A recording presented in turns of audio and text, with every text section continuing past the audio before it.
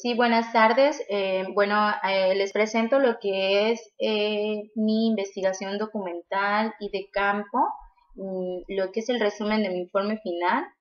El tema que he estado trabajando es dificultades de la facturación electrónica en los pequeños comercios del régimen de incorporación fiscal.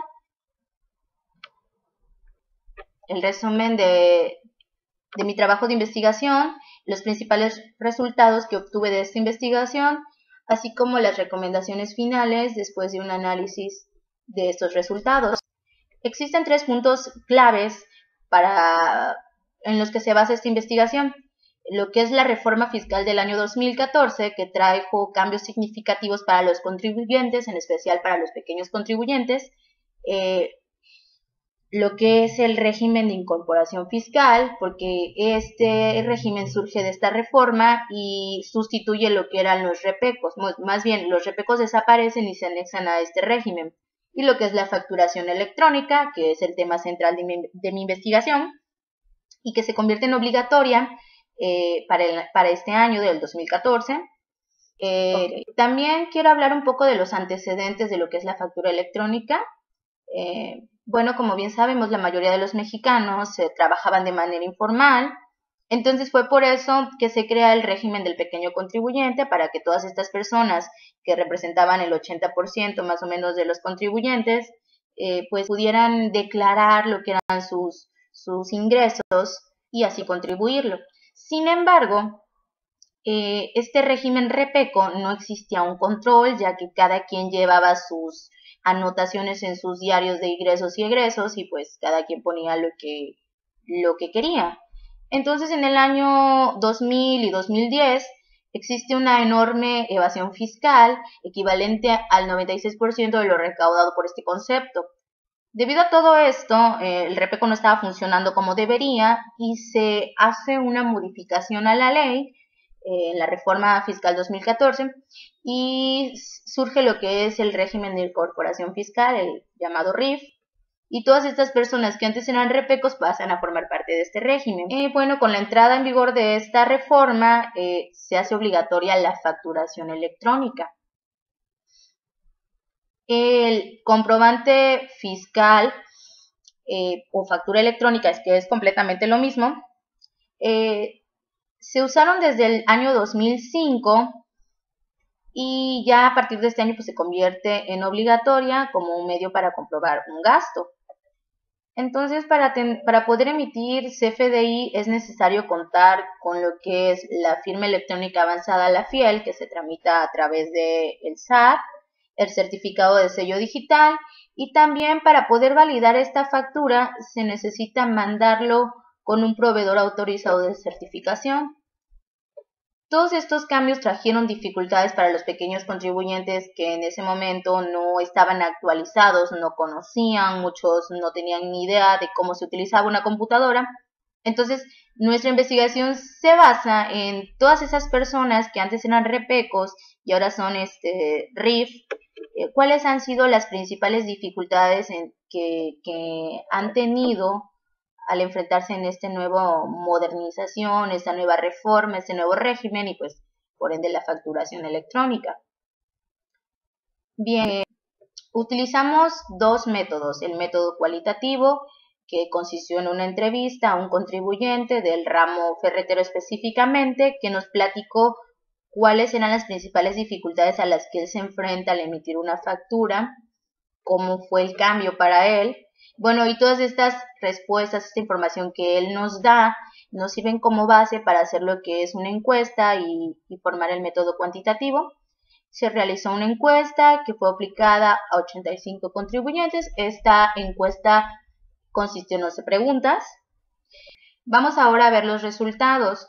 Em, se les preguntó a los contribuyentes si antes de ser obligatoria lo que era la factura electrónica ya la usaban, el 68%, el 62%, perdón, dijo que no, que no la usaba, mientras que el 38% mencionó que sí, que ya la usaban.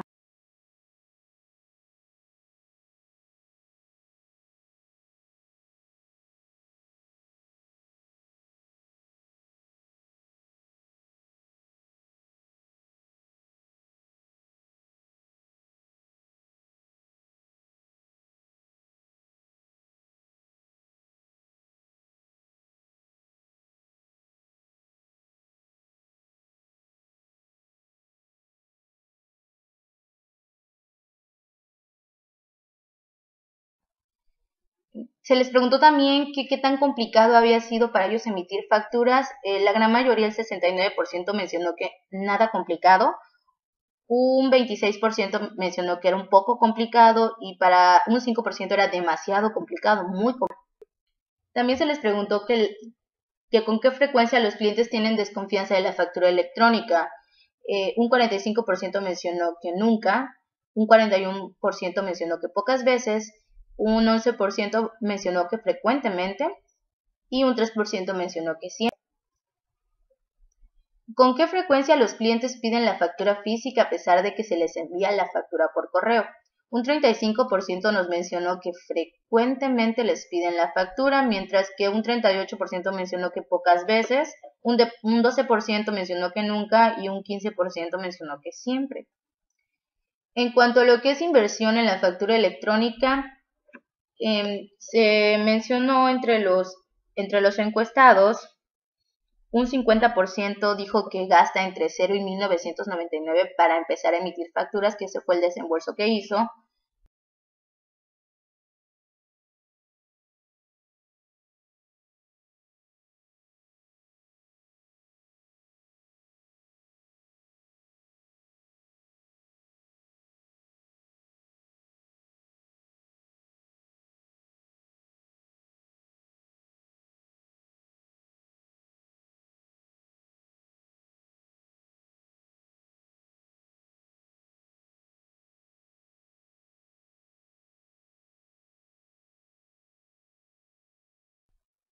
En cuanto a las plataformas, existen una gran cantidad de plataformas para emitir facturas, proveedores autorizados, pero la mayoría de la gente, el 49%, usa eh, lo que es la, plataforma de SAP, que es completamente gratuita.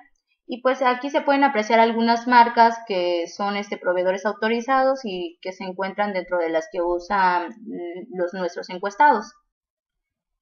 También se les preguntó si se encontraban preparados o, bueno, más bien si conocían que este año eh, se entra en vigor lo que es la versión del CFDI 3.3 y el 55% mencionó que sí, es, que sí está enterado, el 45% mencionó que no lo está.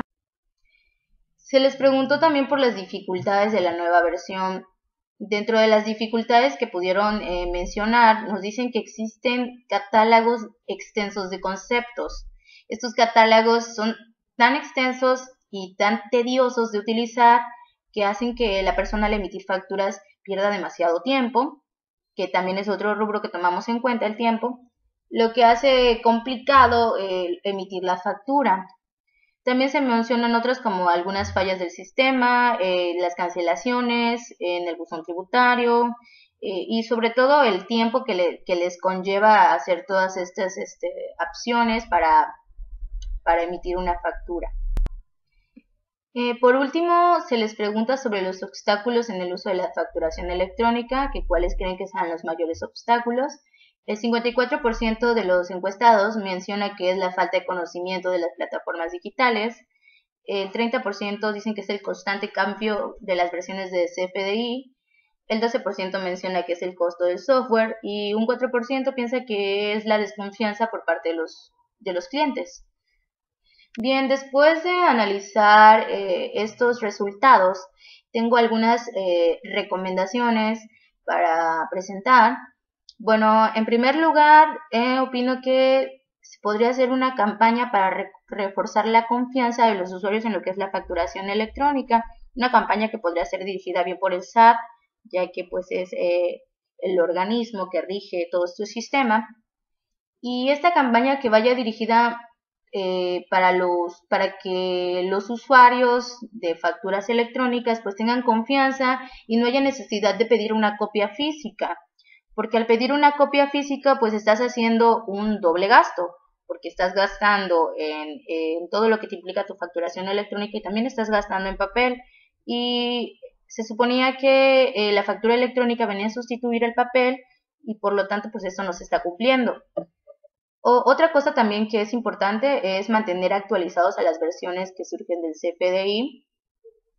es importante que las personas, los usuarios se mantengan actualizados porque ya falta muy poco para que entre en vigor esta nueva ley y muchas personas no están enteradas ni siquiera de que existe una nueva, una nueva versión de CFDI.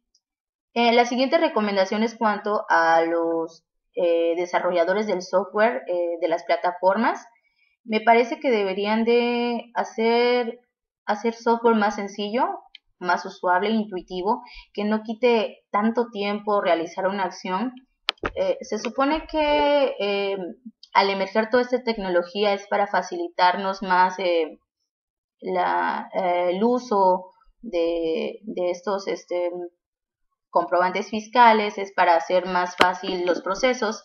Sin embargo, al hacer software tan robusto y complejo, difícil de usar, tampoco estamos cumpliendo con esto. Por último, eh, esta última recomendación yo creo que es la más importante de todas, eh, es poder eh, diseñar un curso de autoaprendizaje donde los usuarios en su tiempo libre puedan eh, aprender a cómo se usa este, el software para la facturación electrónica y podría ser perfectamente a través de la plataforma del SAT que es gratuita, que implementen una una pestaña o un apartado para que aprendan a usar lo que es este, este software y lo hagan de manera que el usuario entienda fácilmente y a su propio ritmo eh, lo que es el, el uso de estas plataformas fiscales y no tenga inconvenientes para el uso de estas tecnologías. Bueno, de mi parte es todo. Agradezco su atención y gracias.